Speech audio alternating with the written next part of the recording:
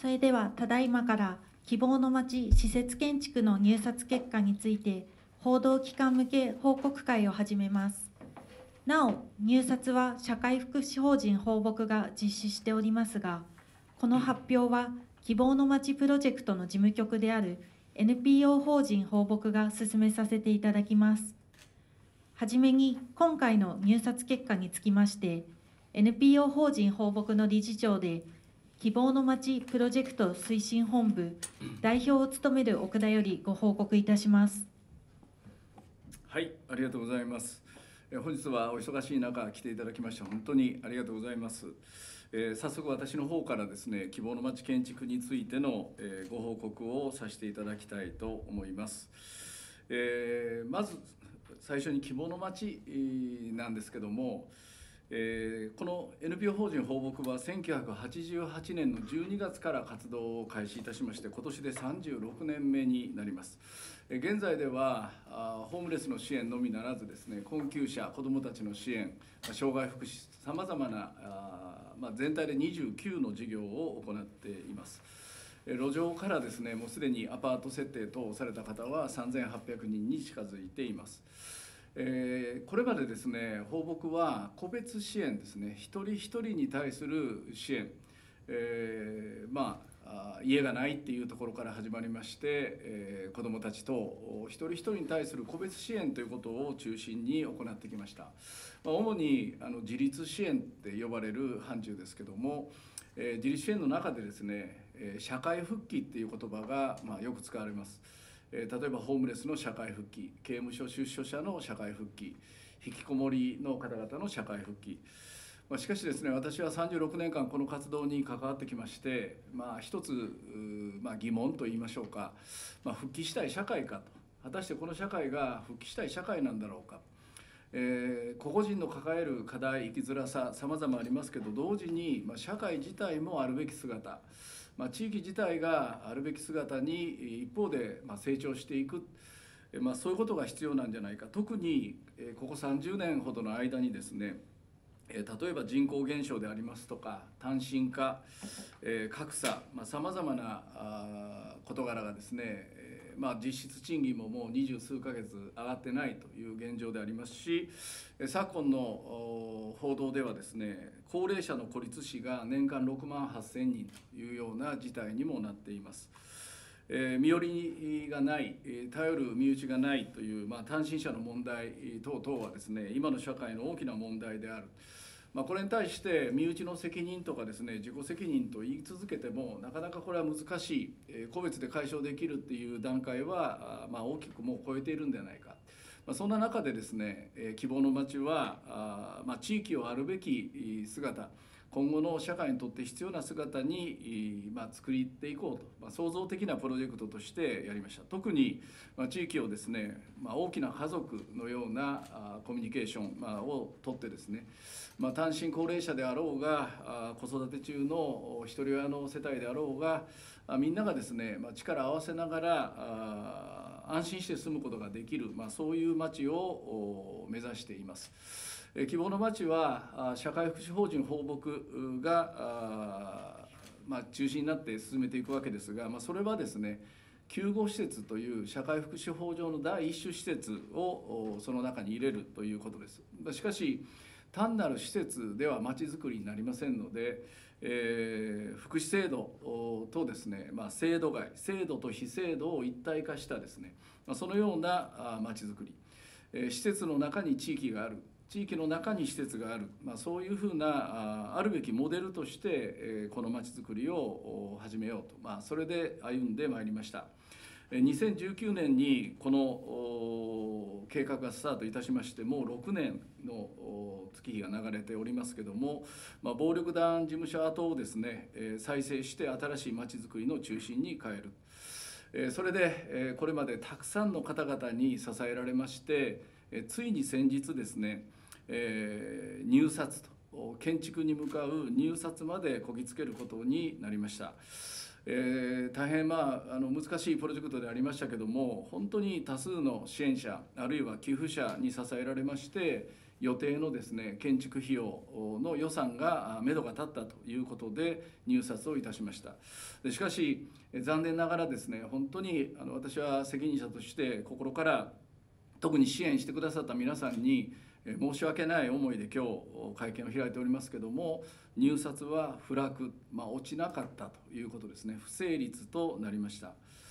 先ほども言いましたように救護施設は社会福祉法上の第一種施設でありますからこれは社会福祉法人でないと運営ができません。え、そのために昨年の9月ですね、えー、社会福祉法人放牧を設立することとなりました。えー、しかも社会福祉法人の財産はですね全て公的な資材であるということでありますのでこれは随意契約ではなくて入札という形を取りました。今回は一般競争入札という形で4月の18日から4月の28日までの間に競争入札を告示公示いたしまして2社から参加表明をいただきました。しかし残念ながらですね最終の入札の手前で1社が辞退となりました。残り1社で予定通り5月29日に入札を行いました。その後改札を行ったんですがあ、まあ、ここはあの具体的な金額に関してはですね一般競争入札なんでここで、えー、ご報告することが、えー、公開することはできませんけども私たちが予定していた入札価格を上回るですね、えー格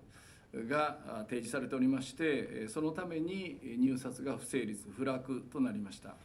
まあ、これまで、えー、応援してくださった皆さんに改めましてあの期待に応えられない今上等京都になっておりますので、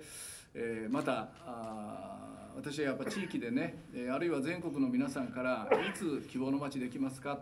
いつ着工ですか？と。もうあのいろんなところから問い合わせ、えー、期待の言葉いただいてますけども、まあ、大幅に計画が遅れるということにもなりました、えー、もう少し詳しい経緯を説明し申し上げたいと思います。え実は2022年に、えー、設計込みの見積もりで総額10億円4階建ての建物を建築費用を見込んでこの計画がスタート、まあ、社会福祉法人の計画としてスタートしましたしかしその年にですねウクライナ侵攻が始まり急激な円安あるいは人件費や資材が高騰というそういう事態になりました。えー、設計をお願いしている今日あの来ていただいてます手塚建築研究所の皆さんにもですね手塚先生ご夫妻にも、えー、この建築についてどうですかと、まあ、率直な話し合い何度も繰り返しましてやはり当初の建築の我々が予定してた価格ではですね収まらないと。そこに追いつかない高騰が見られるということで建築計画資金計画を大幅に見直すことになりました。え皆さんのお手持ちの資料のですね、えー、7、えー、2, 2枚目3枚目の上のところにえその左側がですね、え10億円でスタートしたという絵でありまして右側が、えその後設計の見直しあるいは資金計画の見直しというのをやりました。えこの4ページ目の上下がそのことが書かれています。で見直した結果ですね4階建てを3階建てに縮小し資金計画も10億円の見積もりから設計料設備費等を込めまして13.9億という資金計画へと変えました。初めの設計では2階に法人の事務所を置き1階のホールをもう、まあ、広々とですねいろんな用途で使えるように大きな設計でやっておりましたけども、まあ、ここでさまざまなイベントとか地域の交流支え合いができるということで、えー、計画4階建ての計画でいたしましたが、まあ、今先ほど申しましたように資材の高騰等でですね本当に私としてはもう団長の思いで2階部分を全て、えー削除なくすということにいたしまして、まあ、事務所を1階に落とすと、まあ、その分ホールが少し小さくなるということですが、まあ、それだけ4階をですね3階に落としたんですがそれでも予定金額10億円では収まらず3階建ての設計で総額13.9億と、まあ、実際には4億円以上オーバーするという形で計画を進めてまいりました。しかしですねやっぱりこの計画に関しては全国のさまざまな方々が期待を寄せてくださいまして当初計画よりか4億円近い増額の計画に途中切り替えたんですが結果的には13.9億円のめどが立ったというのがあの現状でありました。13.9億資金の内訳といたしましては一つは日本財団の未来の福祉施設建築プロジェクトというものに応募いたしまして全国292事業のエントリーがありましたが、まあ、そこから3事業が選ばれまして、えー、この狭き門をなんとか通ってですね、えー、放牧がその3事業体の1事業として選ばれましたでここで5億円の助成を受けることになりました。えー、あるいは金融機関から当初3億円の借り入れということで、まあ、ご融資していただくという予定で進めてまいりましたけども最終的には金融機関が5億円、まあ、このプロジェクトの意義をあの本当に高く評価していただきまして5億円の融資の枠を広げていただきました。そして何よりもですねまあこれは融資は当然お返ししなきゃなりませんから何よりもあの大きかったのは全国の皆さん企業団体さんからの寄付でありました3億円を超える寄付が2年間で集まりまして、まあ、そもそもこの土地を購入した段階でですね1億円以上の寄付をいいてましてその他にその後2年間で3億円の寄付が集まった全国の方々からですね実はあの4億円以上の寄付がこのプロジェクトに寄せられているということです。寄付キャンペーンの中ではですね北九州市もちろんのこと東京大阪京都兵庫長崎などですね全国20回のイベントを開催しまして、このイベントに駆けつけてくださった方は3000人を超えました、寄付についてもですね北九州市の協力も得てふるさと納税クラウドファンディング等を含めまして5000人近い方々がこの寄付プロジェクトにも参加いただきました。さらにこのプロジェクトの顧問としては元厚生労働省事務次官村木敦子さんが顧問という形でついていただきまして著名人50人以上の方々の、応援メッセージをいただいたということです。さらに昨年になりますが地元企業の皆さんがですね企業賛同人会というものを立ち上げてくださってこれは法務が立ち上げたんではなく企業の皆さんがあの独自に賛同人会を立ち上げてくださって現在19の企業が名前を連ねてくださっています。ちなみに商工会議所会頭の津田会頭もですねこの企業賛同人の呼びかけ人として名前を連ねてくださっています。えー、再度入札結果についてですが、まあ、それだけのあの皆さんの思い、えー、期待を受けてですね、えー、進めていきました。19年にはあごめんなさい20年の4月にはですね、えー、元暴力団事務所跡を購入し、まあ、途中途中でですね設計変更等スケジュールの遅れもありましたけどもようやく6年目にして今回入札にこぎつけたまあ、正直ねこれであの決まりましたら私はもういよいよ着工を具体的に進めるということで、えー、皆さんにですね見える形で希望の街がスタートしますと報告したかったわけですが、えー、私たちの予想を超える形で、えーまあ、資材高騰等が進んでまして今回、えー、誠に申し訳ない報告となってしまいました。え心からあの期待してくださった皆さんに申し訳ないとお詫びを申し上げたい次第です。私は皆さんから託された思いを、ま実現すべくですね、まあ、この23年走り回りましたもう全国いろんな方と会いましたしこの町がなぜ必要なのかということを、ま語り続けてまいりましたでしかしそうやっているこの2年間の間にもですね物価高騰は収まることなくまあ、予想を上回る形での入落入札不落ということの結果で、ありました。まあ、本日本当に繰り返しになりますが良い結果をお伝えすることができず申し訳ないプロジェクトの代表、まあ、座長としてはですね、えー、この責任を痛切に感じております。え少し話がずれますけどもあのただ私は一方でですね困ってるのは私たちだけじゃなくって実は今この物価高騰であるとかさまざ、まなことがですね社会全体のやはり私は問題になってるんじゃないか。物価の高騰円安建築資材の高騰はもはや社会問題と言わざるを得ません。この間 NPO 法人放牧は能登半島の被災地の支援も行ってきました。1月からですね職員を毎週のように派遣してまいりました私もあのもう今まで何度か能登に入っておりますがやはり今後の能登の復興を考えてもですねこの建築資材高騰でどれぐらい、えー、その復興が進むのかっていうのも心配しております。建て替えを予定されている福祉事業所やですね新しく考えておられる福祉施設等もたくさんありますがやはりどの団体さんに聞いてもですね建築のめどが立たないというようなお話をあちこちで聞いております。このままいくとですね福祉施設も立たないようになるんじゃないかと。え、私たちの,、まあ、あの日頃の活動においてもこの物価高騰は目に見えて影響が出ておりまして例えば炊き出しのお弁当え今大体市内130食ぐらい配っておりますが今までお弁当の、まあ、これ市内の方々にボランティアで作っていただいてるんですが原価200円でお願いしていたお弁当の価格が今250円と。でないとお弁当作れないということになりました炊き出し会場もですね、えー、2年前まで50名そこそこの炊き出し会場が今90名を超えるという事態になっています現在の日本の社会が直面している現状は、まあ、私たちの今回、えーまあ、間近に見せられたということでもありました。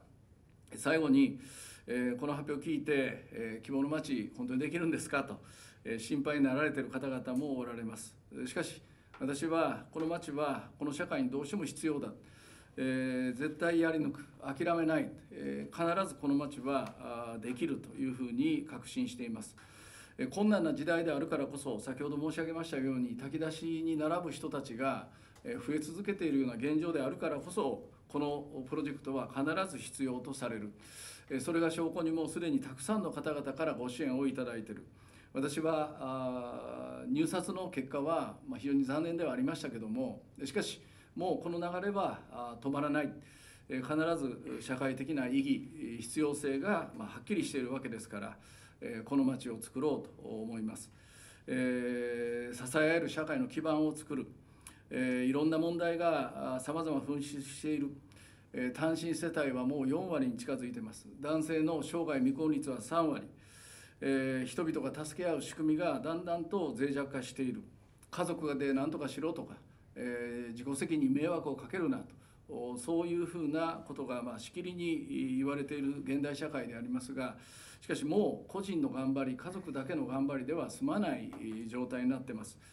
えー、お弁当を配ったり自立支援をしたり、えー、これまでやってきた個別支援はさらに強化していきます。しかし一方で新しいまちづくりや仕組みのを作る、まあ、家族にある意味変わるですね、えー、仕組みをどう作っていくか。新しい社会モデルが今問われていると思います。私は決して諦めません最後まで皆さんの力を借りながらこの町を作りたいと思います今後今日来ていただいた手塚先生たちとも相談し早急にですね建築計画の見直し実際にはまもう一度設計の変更等も含めた建築計画の見直し資金計画の見直しを進めましてなるべく早い時期に入札をもう一度したいということです。えー、いろんなあのここは国土交通省ですけど交通省国土交通省の皆さんにもですねいろいろアドバイス頂いてますがやはりあの待ってもですねこの物価高騰は多分収まらない、えー、人件人件費等も含めてですねあの遅れれば遅れるほど難しい状況になるんではないかということも言われています。ですのでなるべく早いタイミングで再度入札をかけたいというふうに考えていますこれ以上の今まで以上のですね呼びかけ、えー、寄付への呼びかけ等もしていかざるを得ない状況でありますので、えー、さらに多くの皆さんにこのプロジェクトに参加していただきたいということです。まあ、具体的にはですね今その再設計にしてもあのまだまだ詰めていかざるを得ない状況でありますので、えまた不成立の結果を受けた直後でもありますので具体的なプランはここで申し上げることができませんけども、ま時が来ればですね早い段階で次のプランを、えご報告発表させていただきたいと思います、まあ、重ね重ねでありますけども本日はいい結果をお伝えすることができませんでした。本当に心から申し訳ないと思っております。しかしどうかご理解いただいてこの重要な使命に向けて、えー、さらに歩んでいけるように応援いただきたいと思います。希望の街という名前を付けました。私たちは自身が希望を失わず、え、一緒にですねこれからも前進していきたいと思います。このプロジェクトが成功に終わるようにぜひ頑張りたいと思いますのでご支援ご参加のほどよろしくお願いしたいと思います。すいません、え、駆け足で申し上げましたけど私からの報告は以上です。本日はいい結果をお伝えできず申し訳ございません今日は設計をお願いしております手塚建築研究所の手塚隆春先生手塚由衣先生にお忙しい中ご登壇いただいておりますので昨今の建設業界に関する状況を含めて専門家の立場でコメントをお願いできますでしょうか。はい、あの今日は本当にあの大大変に辛い立場で今回ここに座っております。あのこの建物はとても大切なプロジェクトだと思っておりまして全身全霊を挙げてあのかかってきたんですけどもあの世の中の動きがあまりにも激しくて今回の不正の結果になりました。でどうしてもここではあの言い訳がましくなってしまうんですけどもあのどういうことが起きているかということを改めて申し上げなければいけないと思っております。でまず第一にですねあの皆さんご存知通り日本っていうのはほとんど国内から出てきている資材とのほとんどございません。ほとんど海外に頼っております。であの今ですね一番問題になっているのはウクライナ紛争からの話ででウクライナ紛争前っていうのはですね1ドルあの110円とか112円とかそのくらいでした。もしくは100高く上がっても120円ぐらいでした。で今ご存知の通り160円もあのもう本当に当たり前の状態になってきております。で同じことを同じものを買っても実は1.4倍そのくらい当たり前の状態になっています。さらに加えてですねあの他の外国の中でさらに物が交付しております。そうするとその2倍がかかってくると事情にかかってくるととんでもないない値段になっております。で実際ですねあのコロナ前の時点ではですね120円ぐらいあれば坪坪単が120円ぐらいあればまあなんとか建物は公共でも建つという時代でした。今ですね180とか120あ180円とかもしくは200円あのあ200坪200万円でも落ちないようなそういうような時代が来ておりますでこれっていうのはですねもう我々たち私たちが予想している範囲を完全に超えております。であのこれから私たちが何ができるかってことなんですけども、えーと、もうすでに、えーと、面積としてはですね建物としては、えーと、4階を3階にするという話で頑張っております。でこれ以上削ってしまいますとあのこの建物を作る意味がなくなってしまうと。あのもちろん行政的な必要な面積というのがございますけどもこの希望の街という機能上ですねあの意味をなさなくなってしまうとそこまで来ております。でこれから先あの可能な限り合理化をしていくとただそれだけではとてもとても追いつく状況ではございません。でこれから先あの建設材料が下がるかもしくは人件費が下がっていくかというとこれからさらにもっともっと上がっていくような状況だと思って少なくとも下がることは絶対にありません。ですからあの私は正直な話を奥田先生に申し上げました。とこれから待ってあの下がるということは全くありませんと。でやるのであれば何か本当にこう事業を全部見直してしまうか。もしくはあのさらなる皆さんのご支援をお願いするしかないとそういう状況でございます。であの繰り返しますけども本当にあのご希望に添えるような入札結果になりますなることはできず申し訳ございませんでした。であの今後もあの今まで以上に頑張っておきますので、おきますので、よろしくお願いいたします。はい。はい。リさん、何かあります。はい、お願いします。あの、本当に、あの、今回は、あの、残念な結果になってしまいました。あの、まあ、でも、必要な建物ですので、私たちも、あの、さらなる、あの、減額調整も、あの、しながら。あの、なんとか一日も早く建てられるようにこぎつけたいと思っておりますので引き続き支援をよろしくお願いいたします。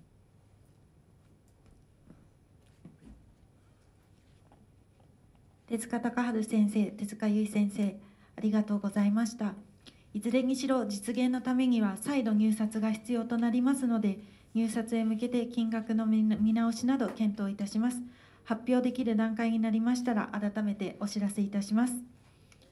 私どもからのご報告は以上となります。この後は記者の皆さんからのご質問を受けたいと思います。それではこれより質疑に入ります。質問のある方は挙手をお願いいたします。お世話になってます。キリスト新聞社の松谷と申します。えっと、2点ほど伺いたいんですが、あのウクライナ侵攻が、えー、始まってからってだいぶ時間は経ってると思うんですが、今回その入札にあたって、えー、あらかじめこういう結果っていうのはどのぐらい予想されていたのか、あるいはもうその侵攻があって物価高騰があってもしかしたらこういうこともありえるっていうことは、まあ、想定されていたことなのかあというのが1点とあとはもう相当このあのプロジェクトを始まってから先ほど奥田さんがあのお話した通り全国各地いろんなところでとにかく、え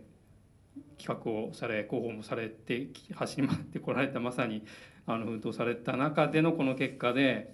だいぶ落ち込んだんじゃないかなと思うんですが その辺こう切り替えが今できておられるのかいやちょっと尋常じゃないこの規模とあとそれそれこそ相当なあのお金と人との期待を背負った上でのこの、えー、今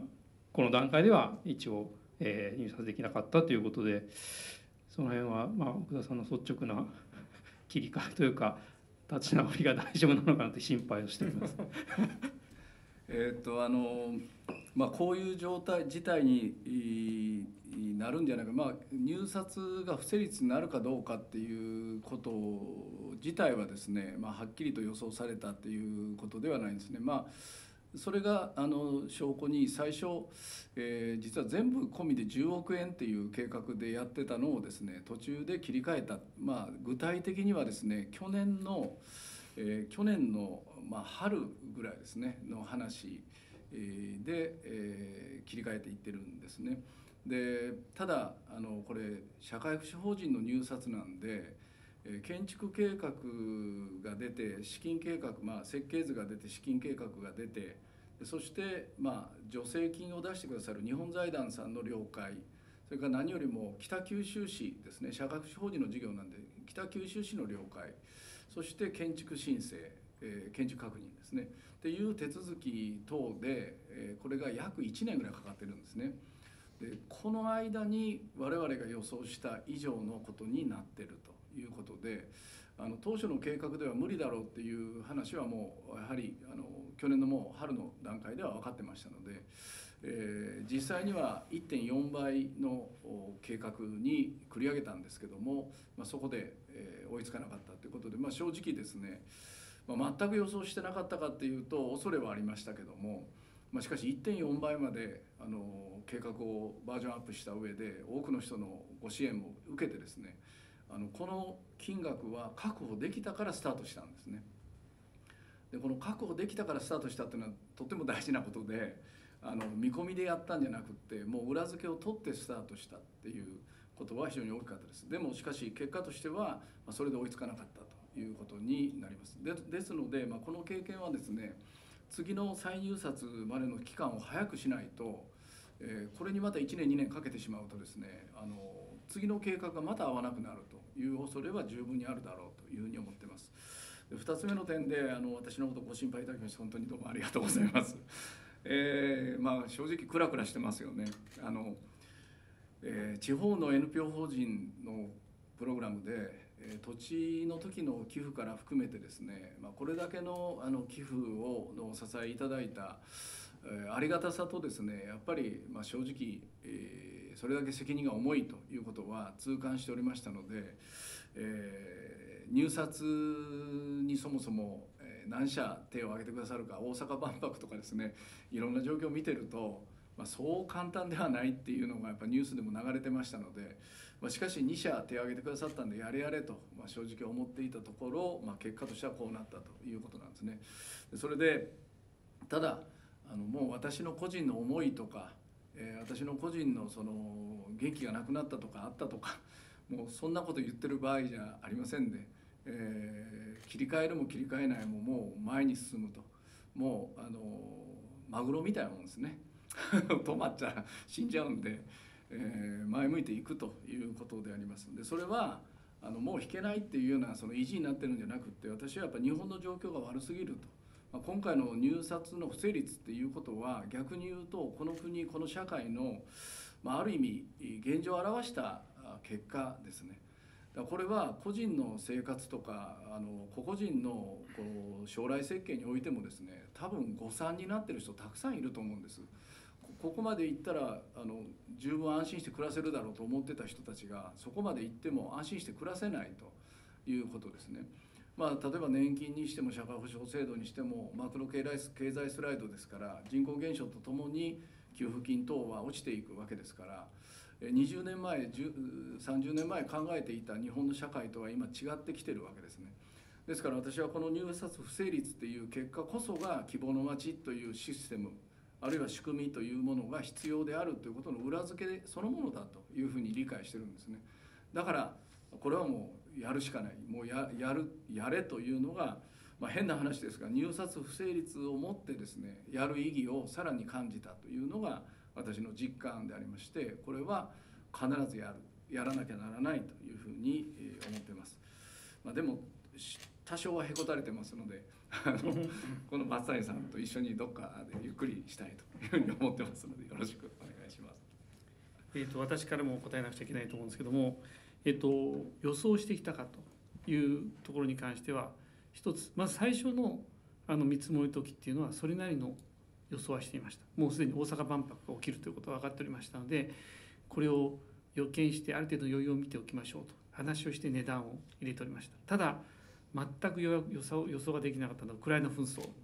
2022年これは予想した人はいないと思うんですね。ただ紛争だからすぐ終わるだろうというこういわゆるこう淡い期待もあったんですけどもいまだにずっと進んでおります。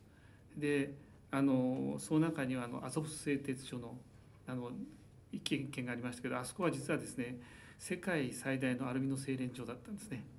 それから鉄の精錬も膨大にやっておりました。それが止まってしまうと世界中の鉄とアルミが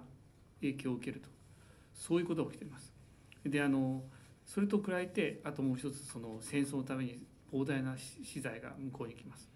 でで建築の値段値段の交付っていうのはあの世の中のあのドルと円の関係とかそういういろんな出来事より少し遅れてまいります。だから今ですね大体2000 2022年から23年にかけての巨大な変化が1年遅れぐらいで建築業界の方に来てるということだと思います。でこれがですねまだ1割とか、えっとまあ、1.1割5分ぐらいの話であれば、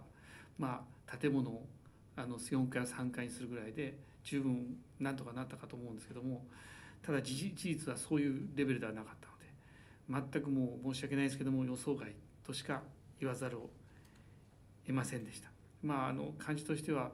本当戦後の日本のようなそれ以来一度も経験したことがない状況が今訪れていると思われた方がいいと思います。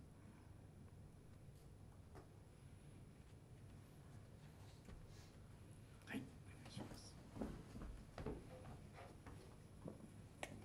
あ、西日本新聞の金沢です。どうもありがとうございます。あの、まあ、現地でも会見されてるんで、まあ、ちょっとあの、かばらない形でお尋ねしたいと思うんですけど。一つは、あの、まあ、あの、今回、まあ、不成立になったってことで、まあ、あの、まあ。私もまあ普段国交省にいるんで、まあ、2020年問題とかで、まあ、そういうふうな建築法規の遅れとかってよく耳にするところであるんですけれどもちょっとあのちょっと若干一般論的な質問になって恐縮なんですけれども、まあ、奥田さんなんかネットワークもあるんであれなんですけどこういう社会福祉施設とかで、まあ、もう結構やっぱりこういうふうな入札不調みたいな動きっていうのが広がってたりするのかっていうのが一つお尋ねしたいのとあとまああの、まあ、北九州の方でも、まあ、今後のスケジュールっていうのは、まあ、検討の上でってお話だったと思うんですけども理解の仕方としてはなんかもともと確かあの入札の時の会入札っていうか報告の時の段階の会見でやっぱりあのその段階少し待ち開きが遅れますみたいなお話があったと思うんですけれども今後、まあ、今今のところの進捗状況のこの一番最後の9ページのスライドを見ると報告からまあ待ち開きまでっていうのが1年半ぐらいだったと思うんですけども、まあ、なかなか今現状、まあというね、あのウクライナの話なんかもありますしあの建築作業員の確保なんかも難しい現状とかあると思うんですけれども。今後例えば広告から待ち開きのやっぱりタイタイムスパンとかってもやっぱりまたあの今後計画を見直していく中ではやっぱり考えたりしないといけないものなのかってその2点について教えてください。はい、ありがとうございます。まず先の点なんですが、私あのたまたま昨日ですね、えー東京都のあの手をつなぐ育成会さんのところで、まあ、少しあの講演をしてたんですね。でその育成会っていうのはあの障害のある子どもたちの、まあ、親御さんたちやあのその関係者でさまざ、まな、えー施設等されてる方々ですけどもあの昨日講演の最後に実はこの報告をしたんです。であのこんな状況だと言ったらですね実は会場から実はうちもだうちもだっていう団体さんがいくつもあの現れまして、えーうちと同じ状況ですねあの例えば建築計画立てて、えー建築申請出して許可取ってうんぬんってやって入札かけた時点でもうズレが出るとやったらやった分だけでズレが出てくるということであの本当に読めない状況で大体やっぱ入札一発目で成立するっていうケースほとんどないって言いますね。はい、ですから昨日もやっぱり私その終わってからちょっと懇親会で皆さんとお話しした時に、えー本当に福祉施設立たないかもしれないねと。で国のあのこういう施設は本来あの国の補助金っていうのがベースに入るんです、まあ、今回日本財団の補助金あの助成金の方が大きかったんであのこれ並並行してもらえないという仕組みになってますのであの国の補助金は、まあ、いいてないあの地方行政からの補助金もいいてないプロジェクトなんですけどもあの補助金の枠組みもやっぱりもう今大きく捉え直さないと多分もう収まらないと思いますね。えーですのでやっぱそれぐらい急激に今ベースが変わってきてるということで、えーあります。でそれが1点ですね。ですからこそ私今日の会見の中で、まあ、困窮者、まあ、の炊き出しの列が増えてるっていうことも含めてですね、えーやっぱそういう現状になってますということですね。2点目のこのロードマップの最後のところのロードマップなんですがちょっと今読めない状況になってます。であの一刻も早くというふうにやっぱり考えてるんですね。やっぱ待てば待つほどあの多分あの落ちはしない。今手塚先生おっしゃったように、えー安くなるっていうことはまずありませんと。高くなるってことはありありうりますと、まあ、さらにやっぱり人手不足ですよね、まあ、この辺りがあの、まあ、働き方改革はあの悪いことではありませんけども当然。ありませんけどもやはりあの今まで通りにはいかないなというところはあの非常に感じておりまして、えーとはいえですねこれ3億円集めるのに2年かかったんですね。で次の資金調達まで、まあ、同じように費用日程をかけてるとですね、まあ、さらにあの計画が立たない状況になりますので、